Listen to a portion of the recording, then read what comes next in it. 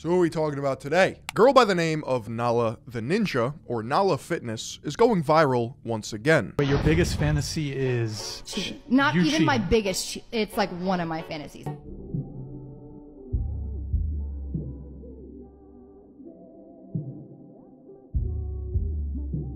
About a year ago, many clips surfaced from her appearance on the Whatever podcast. Now, Nala is very recognizable because of her fire hydrant red hair and her schizophrenic, nymphomaniac personality. But let me remind you, this is all a performative act. And if you can't see that, you're fucking lost, buddy. Because I'm so not normal, I need someone to equalize me. If they're crazy and Balancing. I'm crazy, it just doesn't work. So, yeah, How are you crazy? I'm dominant. You're dominant? Yes. Like you want to what? I'm daddy. You're daddy. Uh-huh. Whoa, wait, show the tattoo to the, the camera right here. It just says daddy. If you're new to this entire gotcha podcast dynamic, let me give you some context. The entire premise is putting promiscuous, OnlyFans, loosey goosey women against traditional conservative Christian men and watching the chaos ensue. These podcast situations are used in echo chambers to reinforce certain ideas about how the West is failing and how far women have gone with their degeneracy. And for the women, it's just an OnlyFans funnel, and a lot of the times the podcast hosts pay to get them onto their show because they're the ones bringing the content. If you've attended one singular theater performance or even an acting class, then you can tell that Nala is putting on a clinic right now, just basking in the fact that she's making the other guy feel uncomfortable. It's like you don't know what to do, but like you're you're making them go insane. Like that girl is going insane with what you're doing to them. Oh. That's hot. It's like Probably a lot of I'm guys with, like, fucking this girl into oblivion right now. Like fuck. Like she's losing her sanity. Ah, that's just so cool. All right. Yeah, that's, that's good. And bro over here's job is just to be the most milk a toast, fence sitter, middle of the road, absolute fucking brain dead. Oh, that's crazy. Uh, subscribe to the whatever podcast. What change? Like, was there a precipitating moment? My mom. like, was there some moment where you just snapped or this? Oh no! So honestly, I was so um, I felt so alone being a Christian. I felt so like being a, a pastor's daughter. You're you're looked up to by not only the church, but your family standards are so high, and it felt just like that, uh, the most though? Like the biggest cage I've ever been in in my life. What do you mean the family standards? My high? family standards. Oh, your family So being standards. extremely modest, but not like wearing like pencil skirts, stuff like that. No makeup. It was it was just you know being very modest. You know. Um, You're representing the church kind of You thing. are. It's different. What's funny to me is that Nala is actually smarter than everyone sitting at this table. Nala, you mentioned at the beginning you describe yourself as the Ahegao Queen. I think. What What is that? So I um, I've been watching anime for a long time now, and I'm fascinated by the the culture of Japan and what they do with the characters, and I feel like it's just so different. And so basically, the Ahegao face to me is like the cum face. Like you're just in so much fucking pleasure, you're just gonna like burst your brains out.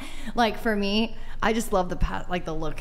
I just love it. What and what is the? No, it's a good thing. It's more like, a Christian. Want- no, it's like a it's a Christian looking at me like, damn, what the fuck? He's so disappointed.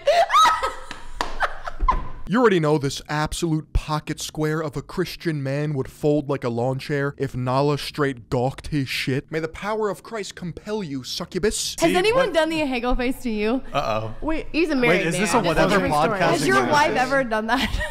I, I don't even know what it is. It's like oh, closing your eyes. just like the cross-eyed. The, you like, can cross-eyed- ah, Oh god. Whoa. it's even better when you Damn, like really? drool and shit. Into the camera. Ah. Okay. That's Cool. it. It's even better when you can hold it. for And wait, what is the uwu? What is?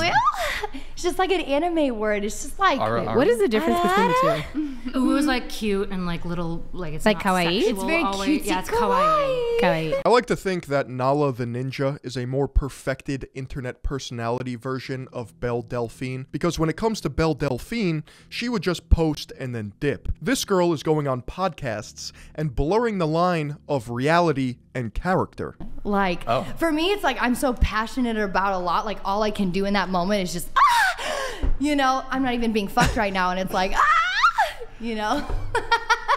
it's like excitement, pure excitement. What are your Good times. Yeah. Good I like how times. you're worried about us So I'm so like disturbed by all of this. I love that. Then this Yeah, this is a The most important thing to note here is that Nala just said that she gets off on the fact that she's making him feel uncomfortable, which is the exact foundation for her next grift. when I was doing OnlyFans and serving the devil truly. Like my works were in vain. But since I became a Christian and got baptized and rededicated my life to the Lord, so much has been going on in my life, and I feel that the spiritual warfare. Oh my gosh, it, we are at war, fam! Yeah, Nala the Ninja is now denouncing her past OnlyFans self and is opening up her life to God.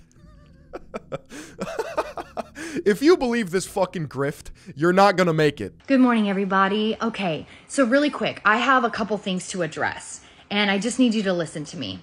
So, I've had quite a few people reach out to me, comment, you know, just truly curious about what and why I changed. So, so listen, I was a pastor's kid for almost all my life. I grew up in church. I was always in church. You know, I was also homeschooled. So my life truly felt like a cage. And I'm not saying Christianity is a cage. I'm saying religion was the cage. I was a Baptist, you know, I was a Baptist pastor's child for the longest time, right? Me and my family did not have a good relationship. And I'm the middle of five children. So I'm talking about my other brothers and sisters and my parents. It just truly felt like such a cage. I was a very rebellious child, like sneaking out when I was like 16 years old. I was like, I was just going the wrong way, right? So, about four years ago, I started my OnlyFans because I think truly it was out of pure rebellion. Yeah. Uh huh. Starting an OnlyFans out of pure rebellion as a consenting adult to spite your Baptist preacher father. What? In December of 2023, a couple months ago, Nala was baptized. Now, why would she record it and use it in these TikTok and Instagram edits to promote her new Christian life? Is she turning over a new leaf? Or is she deliberately tapping into that tradcon LARP, the traditional conservative roleplay, to get even more money? This is a lead funnel. At no point did she actually delete her OnlyFans account like she said she would.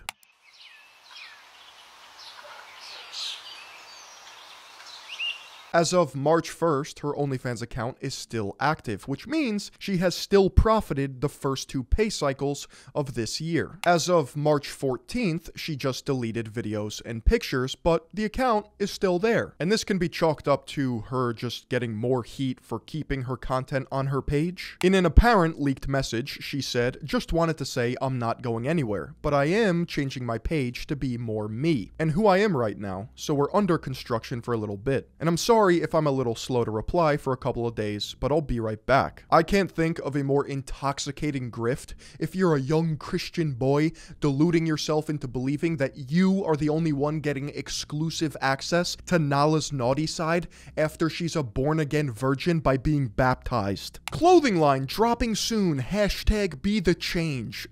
Whoever her boyfriend is, who is obviously helping manage her OnlyFans career, is a genius because they are tapping into that TradCon LARP wave that is consuming almost all of social media. Every year, we get new ideologies and aesthetics that take the internet by storm, and this is just another evolution of that very phenomenon. And there will always be grifters ready to prey upon those people who are too stupid to realize that they are the ones getting sold. A common misconception about OnlyFans girls making a metric fuckton of money is that most people believe that they make a majority of their revenue from that monthly subscription fee, when in reality, all of the money comes from the DMs, the a la carte services, the fever dream where you think you are getting exclusive access to her spreading her pussy in private messages, when in reality, Joey, Jimmy, and Johnny are all getting the exact same photos that you're paying for. There's probably a small devout Christian crowd that can't fathom the fact a girl would be blasphemous before God and lie about her conversion to Christianity, when in reality, she's just grifting. It just goes over their head because in their mind she is being condemned to an eternity of hellfire. But none of that matters if you don't believe in it in the first place. So you really think the girl who grew up in a repressed Baptist household who holds contempt for her father is going to give a flying fuck about morality? Oh, let's give her the benefit of the doubt. Jesus welcomes all. Most of these traditionally conservative Christian LARPers pick and choose the doctrine that fits their life view the best, and then they sit upon this moral high ground while virtue signaling to everyone else as to why they're morally superior. So I don't feel bad if they fall for this grift. You guys need to understand something right now. And it's so important for you to know and understand what's going on in the world right now is not a coincidence. Jesus is coming back. He's coming back with a sword.